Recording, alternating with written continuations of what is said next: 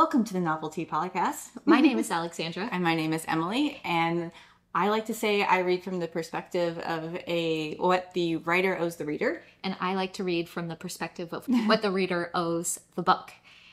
And tell me a little bit about the tea we're drinking about today. Today- Drinking about? No, we're just drinking it. We're just drinking it, but that's fine. That's enough. We're drinking uh, ruby chai today, which to me tastes very much like a rose petal chai, which is like beautiful. Yeah, we have this lovely loose leaf tea today. It's very fancy. We're very fancy. We pulled out the teapot and everything. That's right. So, it's October. It's our October episode. We're going spooky season here. Going all the way. We're going with actually the first spooky season book, shall we say? Yeah. What are we talking about? We're talking about Mary Shelley's Frankenstein, Absolutely. a book which we do not agree about. That is true. I mean, you know, we often have a lot of overlapping opinions. We don't always agree 100% on everything that we read, but this one is one that we disagree on Yes. quite a bit. And I feel like at the heart of our disagreement is our two different approaches that we kind of Yes. have identified. I think that that's very true. Like, I am looking at this book from the perspective of a writer. You are looking at this book from the perspective of somebody who analyzes what she's reading. And in consequence, we have different feelings.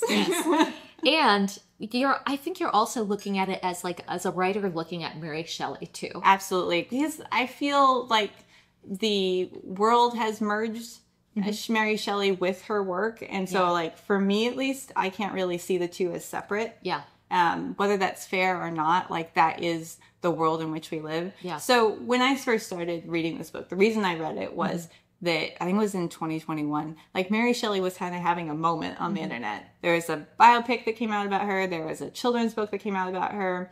Um, the like internet was all about like how you know she invented science fiction horror in essence which can i just start by saying that's great That- like that's really cool that we Yeah.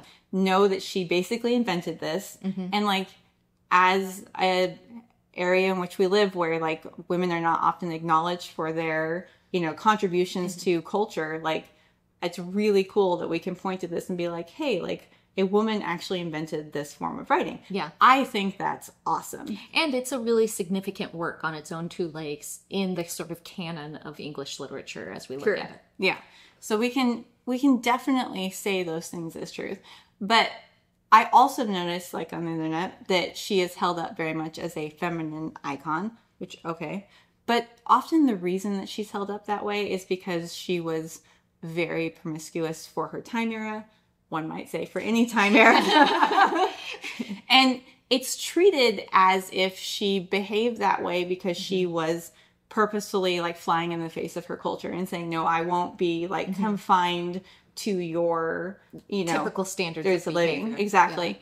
But if you really like get into like the way that she like lived her life often like she felt like she had the right to behave in certain mm-hmm. ways but if other women did she would be like oh no like that's that hurts my feelings don't do that. Mm-hmm. You know like she was very exclusive. It was not about changing things for women. It was mm-hmm. basically like i feel like i should be allowed to behave like this regardless of who it hurts. Right. but you can't hurt me. Like you Right. can't do anything to hurt me. Um, and so like when people are like oh yeah the fact that you know she had sex on her mother's grave with her husband you know Yeah. who wasn't her husband at the time and was married to someone else. Isn't that cool? I'm like is it? Because his wife went and killed herself because of that happened. Yeah. and then when her husband did the same thing to her she was like well how dare? Yeah. like how dare he treat me like this even though i treated his wife like this? You know it's like i feel like this is a very frustrating thing in feminism is like the feminism gold star mm-hmm. is not given out for accomplishment it's given out for bad behavior. Mm. And it's pretended like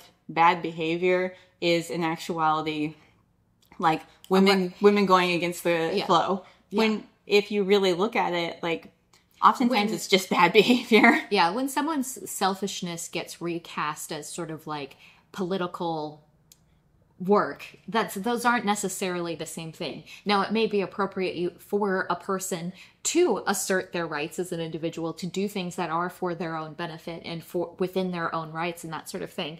But it also and you know we had you kind of referenced this it's like feminism feminism for me but not for thee and it ultimately when we talk about feminism what we want to do is like have the whole community of women be lifted up as a result Right. And I feel like we can acknowledge people, who, women who had accomplishments, but still live within the confines of societal frames. You know, like mm-hmm. there are a lot of women who stand out in writing. Like mm-hmm. writing is an area and like women excel. Mm-hmm. Um, like best-selling novelist of human history is female.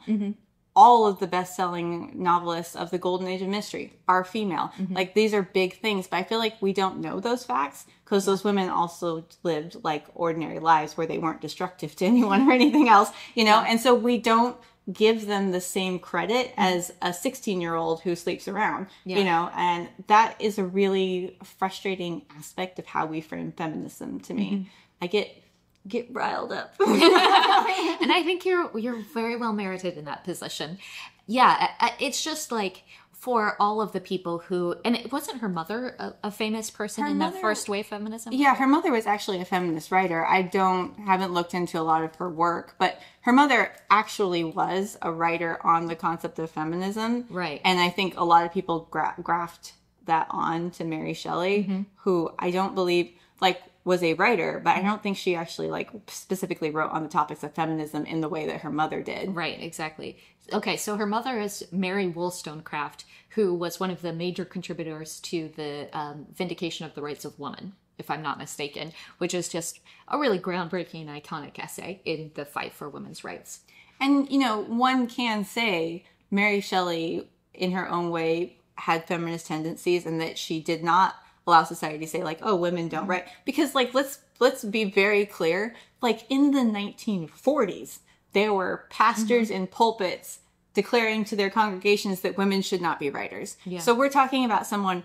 You know, way, way back, writing just writing because she wanted to write. Right. And I think that is important to acknowledge but I don't think that that alone mm-hmm. makes you a feminine feminist icon. Yeah. Because like a lot of women have done that mm-hmm. and achieved great things mm-hmm. and like where we settle the word icon on, I feel like is honestly kind of degrading a lot of times because we tie that into a woman's sexuality. And if she doesn't have the sexuality that seems cool or hip or, you know, on topic, then like, oh, like her feminist status is like lowered a bit. Yeah. You know, oh, you were in like a 30 year marriage and had children in addition to all the other stuff you did. Well, you're not as cool. Yeah.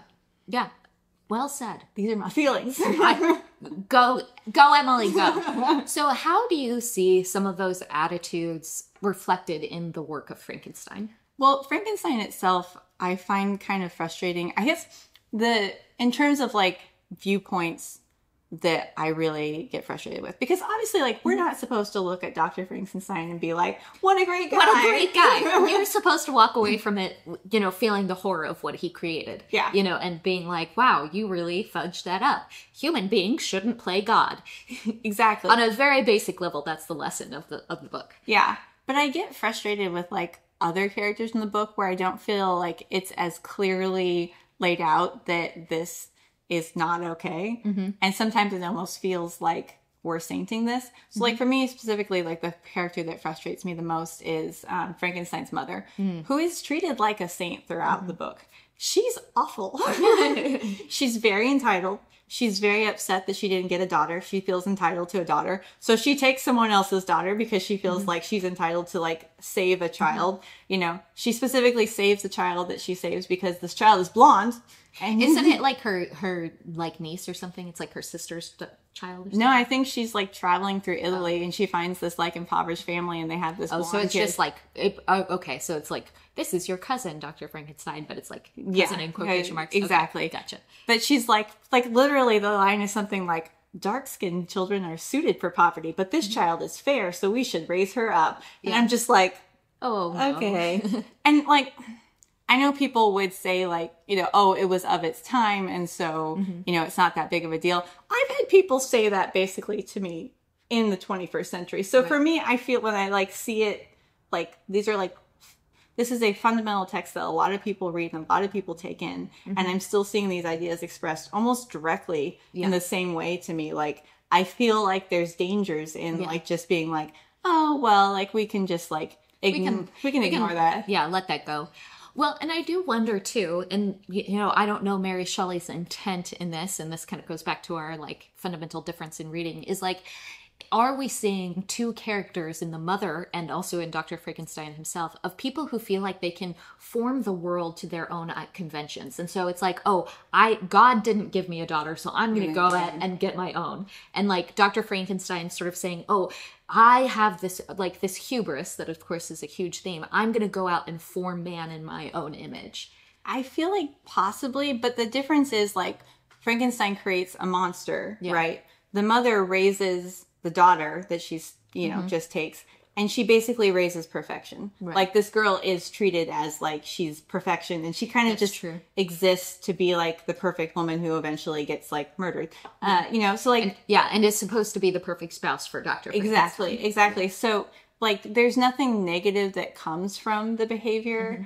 you know, of the mother figure. Um, and like again, I don't like the way that she interacts with this daughter figure because Mm-hmm. it's like basically there's like an expectation of like, oh, we saved you from poverty, therefore everything that we want from you, you'll give to us. And the daughter's like, okay, Mm-hmm. Yeah, like down, agency. yeah, to down to like you don't really get the sense that She wants to marry, to, or even that Dr. Frankenstein wants to marry her. It's- they, it's they just- like keep delaying their. yeah it know, just gets very much treated like like oh mom wants this so this is Yeah. what we're gonna do and i don't think that's ever reconciled like Mm-hmm. Do either of you want this like i don't get this impression but it's still treated as like mom created Mm-hmm. this like perfect girl Yeah, so i don't if that's the intent that Yeah. like mom is also being portrayed as someone who kind of meddles with the way Yeah. things are supposed to be i don't feel like it's as clear in, in the, the way text. that it is that for Dr. Frankenstein. Yeah. Who yeah, who yeah, Dr. Frankenstein you don't miss it. Yeah. You know, like he's you're like, like, no, no, things went awry. Yeah, very early on. Mistakes were made. Yeah, exactly. You're all sitting there like, sir, yeah. sir. And there's like heavy foreshadowing, like, oh, ethics of science. Should we be doing this? Should we be playing God? Well, and then I do want to bring up another little like twisty turny. And I get, this is like, I don't know, this could be me reaching. Reach for it. This could, you know, there's like that meme that periodically circles on the internet of like, oh, the curtains were just blue. Like, it doesn't mean that the character was sad. this might fit into that. so Go for it. but we're gonna roll with it. Um, so in the myth of Prometheus, which if you guys listeners don't know, like the title for Frankenstein is um, Frankenstein, a modern Prometheus, Right. And so she's very explicitly referring to that Greek myth, which again, if you don't know, that's the myth where Prometheus goes up to the heavenly realms and gets fire and brings it back for humanity, and then he gets punished by the Greek gods because he had too much hubris. It was a technology that wasn't intended for men to be able to have it. His punishment is Pandora. So the gods give him Pandora. He doesn't want to marry her. His brother wants to marry her, which I think mm-hmm. we see that parallel in his friend, who seems like he's more interested in Elizabeth. I think that's her name. It's been a while since we both read this. Yeah. we like we did research. we weren't going to force her to read it again. I'm not I'm not doing it again. Yeah. and so, uh, yeah, Elizabeth Lavenza, um, where he's trying to do this parallel where she's occupying the role of Pandora, who ultimately becomes like another punishment upon the human race, because of course she opens Pandora's box and she lets all the evils out, right? And there is an inversion on that, which you might say is feminist, because if you read the Greek myth, it's like, man, women, a curse upon the earth, you know? and in fact, one of the, um, one of the translations that I have read was like, she, her spirit was filled with bitchy whorishness or something like that. And you're like, jeez, bro. Is that like how the Greeks wrote it, or is that like a little bit of an exaggeration? But anyway, and she was filled with a bitter spirit of whorishness, and you're just like, as she went to open the box and revealed all the evil, you know, and you're just okay, Okay. Thank you. yeah, and and so you know, in the in the context of of the myth, she's a curse upon humanity, Yeah. yeah, a curse upon the the human race that before didn't have you know women in this like cosmology, right? And so is the it, are we getting enough feminism by inverting it because it's really Dr. Frankenstein who unleashes this horror upon the planet, and yeah. then he's like having to like chase it down in life. So I don't know. I don't know if it's intended by Mary Shelley to like set up these char- characters in these parallels to the Prometheus myth. I don't know if it's a reach. Um, and if she's trying to flip the responsibility of like who is really unleashing the evil upon this planet. Maybe. I just feel like she's extremely obvious and like Mm-hmm. tell it like it is about like all of Frankenstein's issues. And so when she's like potentially being obscure about other things, I'm like, I don't know if like I fully connect with that because I'm like, well, she like beats you over the head with it everywhere else in the novel. Fair enough. so, but your perspective, you have Yeah. a lot about like the actual novel itself. Yes. Which I have some things about the writing, but let's start with like Well, the I- novel itself. No, I think we should start with the writing because I do want to say, like, I, but we talked about Dracula previously, and like these early entrants into. Uh, have we talked about Dracula on the podcast? I feel We like an entire Oh, vampire. yeah. Which, That's by the way, if you're in spooky season right now, we have an entire vampire episode. right? These early entrants into the horror genre, they really don't accomplish what we expect from the genre as Right. modern readers today. Um, so we talked about, you know, Dracula. For me, it comes off as humorous rather than actually scary. it's a more fun novel. it is a lot of fun. And then Frankenstein, it's obviously, you know, it has intent behind it. It has a message that she is trying very hard, Hard to to um, express through the novel. I wouldn't necessarily say that Dracula has some sort of like deeper meaning that we're trying to explore here. Compared to like Franken- Frankenstein, like she is Yeah, explicitly, yeah, Yeah, has again, she she She- beats you with that. Yeah. Um, but like the style is definitely of its time. Yeah. Verbose, long winded, big words, sentences the size of paragraphs. So if that's not what you're into, then skip this one a skip. It's okay. you don't have to read it. Yeah, I feel like if we're talking about like the construction of a good novel, because there obviously a lot of novels throughout history have a point, have a meaning, have a mm-hmm. philosophy behind them. Mm-hmm. Like that, and a lot of times that's why writers write because they're mm-hmm. trying to express something that they deeply believe in.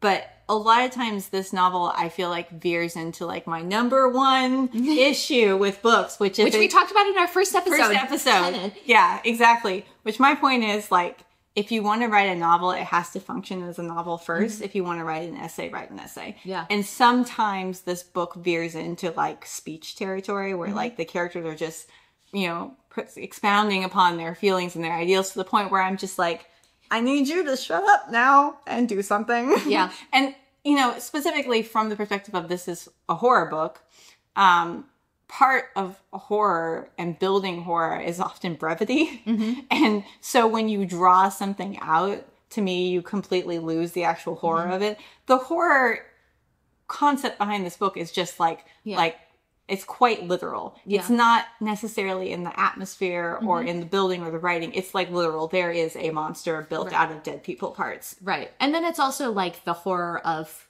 being a human.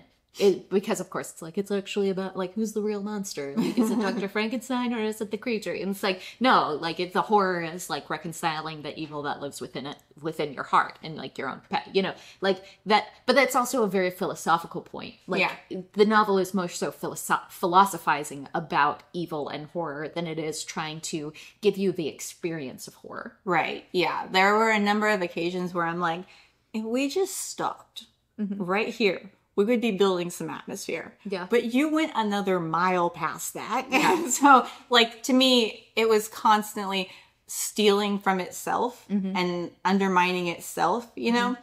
Because you can express mm-hmm. really profound philosophical things without using like a 1000000 words, you know? And I know that's not the style of that time. And so but part of it is just like kind of frustrating for me because you can just see like, like we, we were, we were there. I think it was like the last, the last scene where they're in the Arctic and the monster shows up and I was just like, I need you not to talk anymore. Just stop talking now. the amount of talking that the monster does. yeah. I think that one of the interesting things for me about the structure of the novel is that it does seem to be like quite a bit of a patchwork because we do have like these multiple point of view narratives. Narratives. We start off with I think his name is Walton, the guy on the ship in the North Pole, and then it's like then we get Dr. Frankenstein's narrative as he's telling Walton like uh, his woes of life, and you're like, you can just shut it because I have no sympathy for you. Um, He but I, feels very sorry for himself. he does. and and then you also have like the interim passage with like the monster from his perspective, Right. Which was my favorite part of the story. Not your favorite because he talked too much. But I did enjoy that period where he is trying to understand who he is, move out into the world. He has that whole, especially the sequence where he's in the woods and he's observing this family from the outside. It's almost like a, this anthropological study where he's trying to figure out what does it mean to be a human being? Can I be a member of a community? And the you know, old gentleman who lives there is blind. So he has this hope of like, maybe I'll be accepted if he doesn't see like how horrific I look. Yeah. Because we have this whole like appearances versus reality where Dr. Frankenstein is accepted because he looks, he has this noble mien or whatever. Yeah. And, like, people are always like, oh, what a noble looking gentleman. You know, and just assume that he's a good guy. And so I really did enjoy that that passage of that exploration of the inner world of, Of the of the of the creature. Yeah.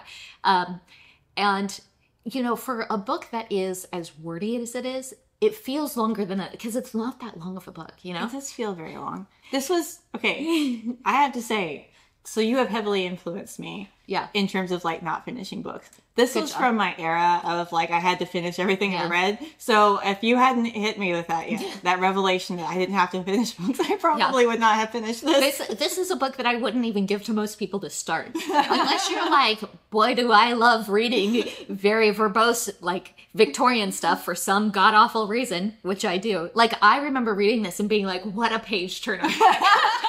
Oh boy. I, I read it in like three days, so I was like, this is fab. I mean, while I'm like crawling to the finish line, like when is this going to be over? When are they going to stop having speeches? Like stop.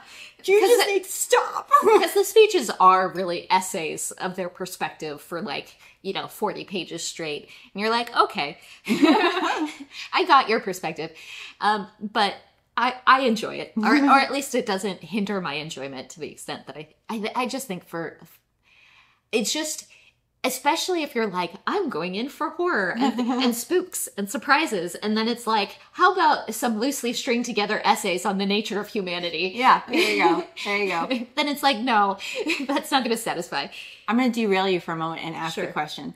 If someone is like, okay, I want to, I want to read Frankenstein. I Uh-huh. want to be, you know, read, have read that classic. yeah When they go into it, like what attitude do you feel like they should go into it with? What they should be looking for? Which they should be focusing on?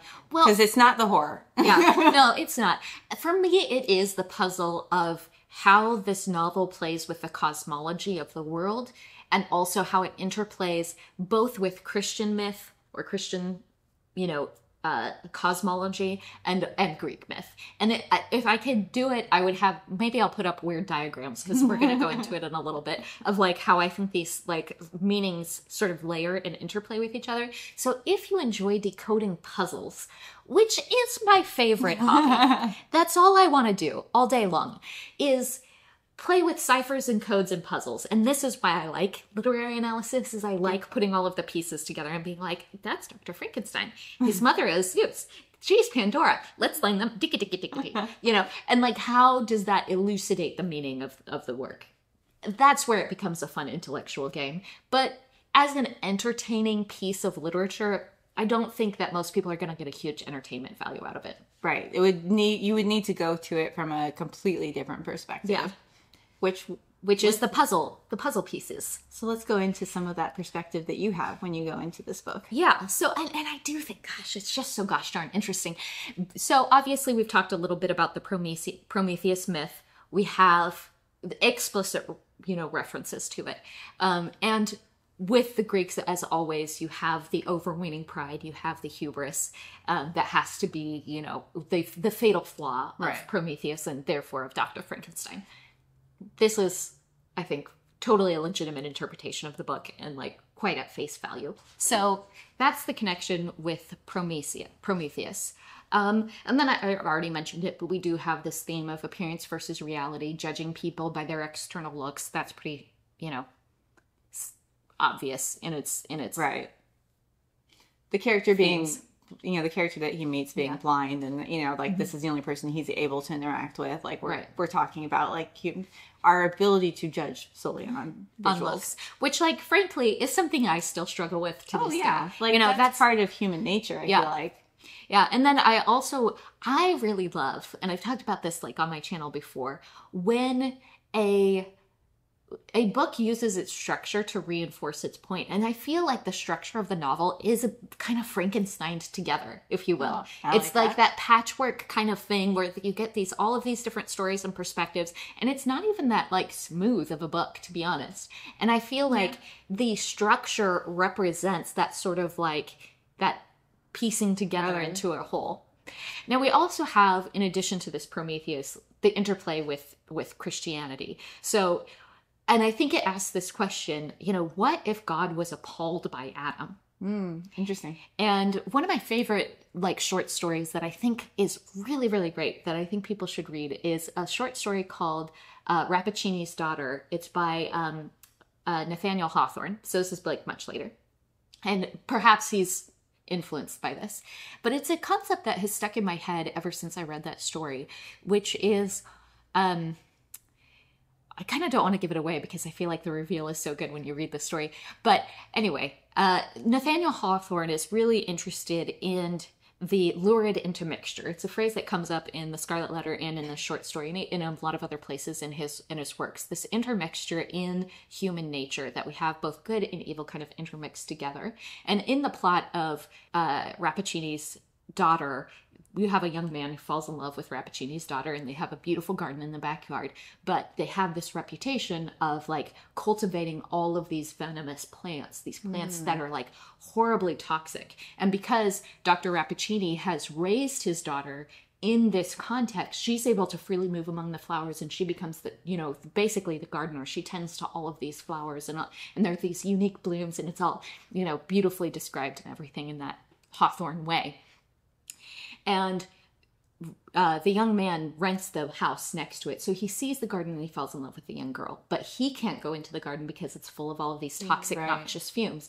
But over time, he gets acclimated to it. And the, the climax of the novel is like, are they going to get together? Is he going to be able to kiss this beautiful young girl who literally has this like toxicity on her breath?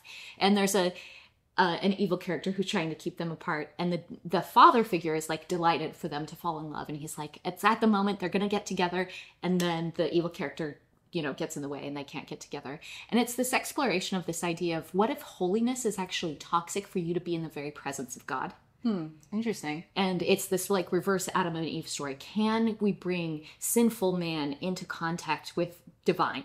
You know, and she's like this pure Eve, if you will, mm-hmm. untouched by the sin nature. And like, can God bring us and reconcile us back together? And I think this book kind of operates in a similar way where it's like, what if God, instead of when Frankenstein makes man in his own image, if you will, so he's you know adopting the role of Elohim God in this role, like creator God, and like he creates this this creature as God did with humanity that is like we're neither angelic beings nor are we base animals. Right. And how do we understand our place in the world? And that's the struggle of the creature as well. He's been birthed into this world, and then he's rejected by God the Father, if you will, sent out of mm. the garden. And how does he find his place in this world where he doesn't really belong? And he even longs for, as Adam does, a partner.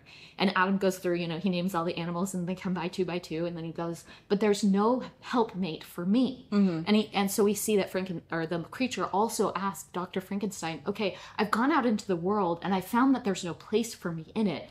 Please make a companion for me so that I can have a place in this world. Right. And so I think that like if we layer now this cosmology of Prometheus with this Christian cosmology, where we see Dr. Frankenstein occupying the role of Prometheus and occupying the role of Elohim, God, creator God, um, and we parallelize those to each other, then we also have like the like uh, pantheon of Greek gods. Then above that, and then we have this development of uh, the Eve character would be, you know, the other creature that Dr. Frankenstein almost makes from. And then we also have, as I referenced before, we have this question of Elizabeth as occupying this role of Pandora.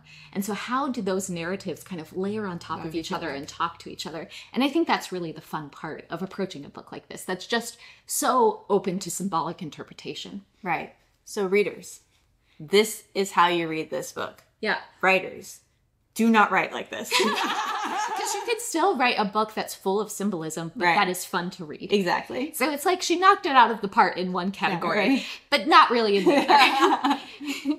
Which I I have not read a lot for from this time era. I'm assuming she's not while like the like genre itself is new, like her style of writing isn't particularly Mm-hmm. No, I think- divergent. No, I think she very much is in terms of like the sentence structure and the vocabulary and also the attempts to make these highly symbolic stories. There are a lot of writers who are doing this in this time era.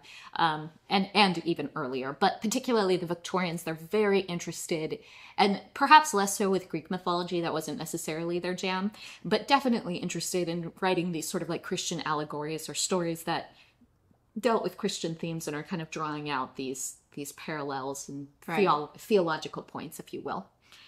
Um, and then I think one other theme that like does come up is obviously we have this sense of like Dr. Frankenstein is usurping authority that he ought not have to generate Right. life in this way. And it's on the one hand we can see him as usurping authority from, you know, Elohim creator God if we're looking at the Christian cosmology, but when we flip it over to the other side and we take a look at the Pandora Prometheus myth, in that way it's like are you usurping the authority of motherhood? Right. this generation of wealth that the, the ability to kind of like make a child if you will and um i think that theme of like motherhood versus fatherhood is less strong in this universe but i think it's worth asking because i think that does tie into then this feminist question of like saying like no like men are reaching overreaching their authority into areas where it doesn't belong whether it's motherhood specifically or not. It's definitely an overreach. Do you think that ties into the mother character and Frankenstein being kind of like a saintly character and like a lot of what she does creates good? Um, I hesitate to say it because she is such an unpleasant character to be around, so it's like hard to interpret her in that light, especially as a modern reader. I don't know if that's how the book was intended to to show her, but you know, if we contrast her with Dr. Frankenstein, she's taking a natural. So, like, let's just adopt the Victorian mindset, which means that we're hecka racist right now, right? and that we also have this sort of like Christian good works. Right. So then, in that context, you know, she's going to Europe. Ew. I mean, First of all, Italy. Italy. Wait, oh Ew. my. Those are the gross Europeans. So, like, you have to. Rem- this is me being sarcastic, by the way. Italy, you're lovely people. It's not about you, Italy. It's about them. Okay. I'm just embodying that mindset of the time. Um, and she's like saving this, you know, angelic looking blonde child, right? Where us Italians are often dark haired. Very, yeah. yeah. So she's like rescuing her out of Which I think she's like half English Oh. or something like that. Yeah. So she's like saving her for like bringing her back to her her Yeah. like, true land. Yeah, exactly. So I think in the context, I think you're right. We're supposed to see her as like, look, if you want to make a child, maybe don't dig up corpses and sew them together. Instead, go to a foreign country with a very paternalistic aspect and just steal them from their native land and raise them as if they're your own. Obviously, that's the better way to do it. To be fair, like at the same time I was reading this, I was also like got looped into like adoption TikTok. um, yeah, that'll that'll do you. and then you're just like, this is exactly everything that everyone is talking about. yeah and and I, you know and of course from a modern conception there is this question of like look if your fate is that for whatever reason you're not able to have children should you try to supersede that with science or with you know quote Right, unquote good good works or you know i mean these are still questions that we're having today literally on tiktok right, and we and we literally have these conversations about AI right now, generative Of AI. AI. It's Yeah. like we're like, what are the ethics of this, right? um, so it's hard to overstate how iconic this book is and how important it is in the canon because of those concepts. I mean, I don't think we can, any of us can deny, even while we're somehow still asking these questions in the 21st century, like these are important questions to ask. yeah. I think if you had asked Mary Shelley, she would have thought we would have answered them by now. She's like, I already told you it was a bad idea. don't do it. Steal babies, that's fine. Just don't do the don't do the corpse thing. and it, you know, and I do wonder if there's like for Frankenstein as we're like on this conversation of like usurping motherhood, right? Like, is there a little bit of a Lady Macbeth, like he's like unsex me now so that I can operate in the role of the other? Because there mm-hmm. is sort of like this sense of omnipotence that you can be both the female and the male. Right. Like and and I think that's sort of like when we look at Christian cosmology that that is one of the attributes that we see of like yes it's god the father or whatever but when we talk about elohim god like we're talking about creator god and that's you know he's creating the world in seven days he's making Right. all of the animals he's he's making this world like breathe into life right he, and so that gendered aspect of god the father isn't really No, it's not identified really. until later chapters in no, later like books isn't isn't Elohim actually kind of like a they? yes it's a plural of a divine being Right. Yeah. Uh, a, a title. It, it, it could be like a title for king or lord as well, but in the context of Christian scripture, I suppose biblical scholars think it means like creator God.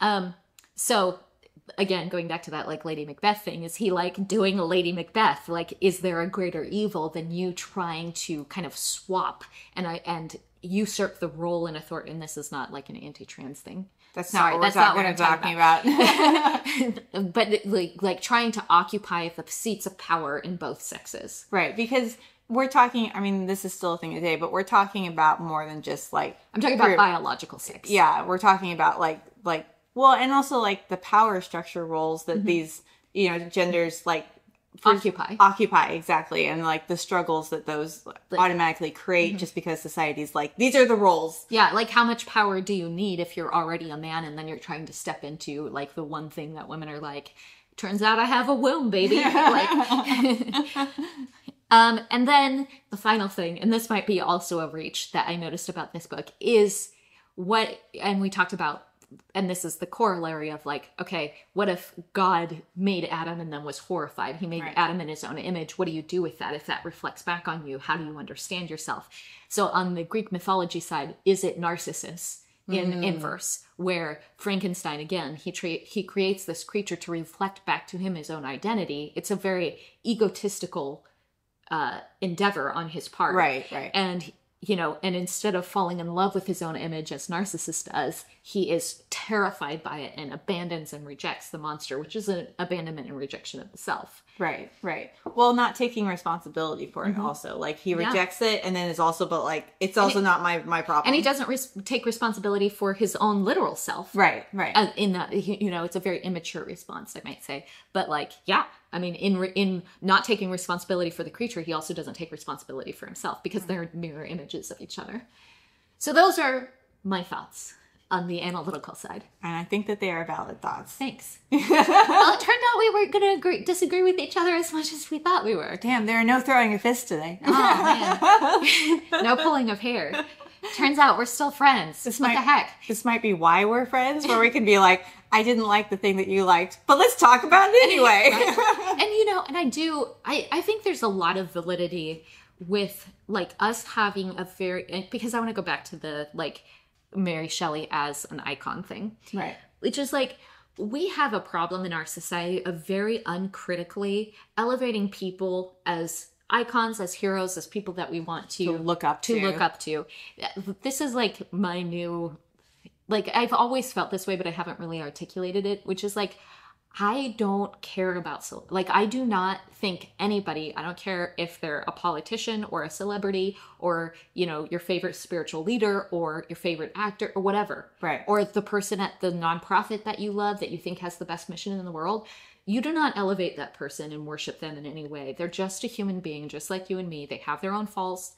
They have their own foibles. And in fact they might be terrible people they might not even just be okay people like most of us trying to be decent folks walking around in the world they might be terrible people Yeah. Well, and I think that this is where it comes into like, for me, it should be more about like their accomplishments because when we pull in them as a human being mm-hmm. and mesh that in with their accomplishments and try to make it be like this great accomplishment that they did mm-hmm. made everything about them good, mm-hmm. then we get super messy and that's when we end up like, you know, being really upset because they, you know, eventually it turns out they weren't that great.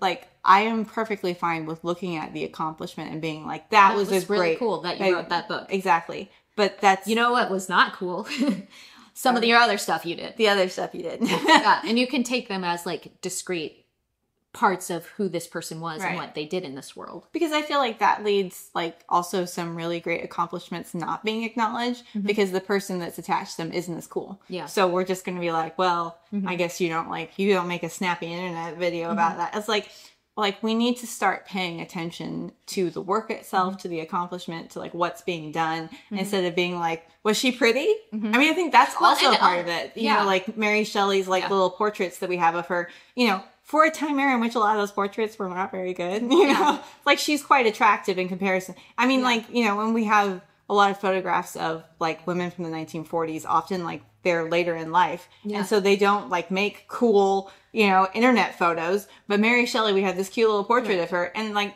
that in and of itself, we should be questioning ourselves mm-hmm. about like how feminist are we when our feminist icons have to be pretty. Exactly. And and I think it's like being able to hold those two realities hand in hand. I mean, I would say the same thing about Tolstoy. He was a horrible husband, you know, to his wife. He has a lot of problems, you know, but I really enjoy his works. And I even really agree with certain things that he says in his works, even though he himself, I would say, didn't live them out.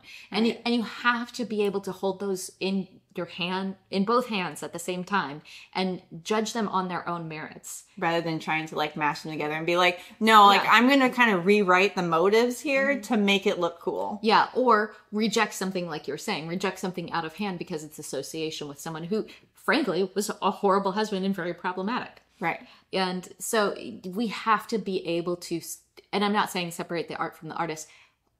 They they are inextricably linked, but yeah. you have to hold the the paradox of humanity together. In, Right. in You can't manipulate that to So that- make it seem like it's so that you different. can make a simple judgment. right, frankly. exactly. and yeah. also live in a world that feels quite secure and comprehensible. Right. Be- and I think that's like for me the other thing that happens is like when you're looking for these people to worship, you're sort of like trying to offload the responsibility of becoming an integrated person yourself. right. And being able to I I Be okay with your own foibles. Right, flaws. exactly. Like I feel like there are a lot of people who are very uncomfortable with any shades of gray Mm-hmm. and like they just want everything to be black and white. That is a difficult way to live Mm-hmm. for one thing, but that way of living also means you end up manipulating facts. Mm-hmm. And, And and manipulating your own view of yourself. exactly. And and if Frankenstein is a lesson, if you ever have to have a good stark look at yourself and you're appalled, what do you do with that if that's your worldview and everything else crumbles? Yeah, Like because the reality is we're we don't live in a black and white world. Yeah. Like if and your you're world not black or white. Right. Yeah. Like if you think the world is black and white, we need to do some examinations because it's just it's just not. Yeah. So I think we we arrived at a really interesting place here. Yes, we did. Maybe we'll just leave that little life advice from Alexandra and Emily. Oh, there you go. Enjoyed those shades of gray. Yeah. but don't enjoy Shades of Grey. Or no, Fifty Shades of. We're we don't advocate the reading of that book. Oh God, no. So let, let's see. Should we wrap it up there? I think we should. I think that's a good place to to leave it. I hope you enjoy your spooky season. And again, Yeah. check out our vampire episode, Episode. if you're looking for some more, because that was a fun episode. That was a fun one. I We did so many books. yeah. And let us know what you guys are reading for spooky season because Yeah. I'm like getting my TBR ready for that. oh yeah, I've I've started already. Yeah. I though I don't think I'm gonna make it through Anne. I started that and I'm just struggling Yeah. to get through. That one I struggled to get through. So that says something. I feel like. Anyway. All um, right. So we'll talk with you guys next time. See you next month. Thanks See so much. later. All right. Bye bye. Bye.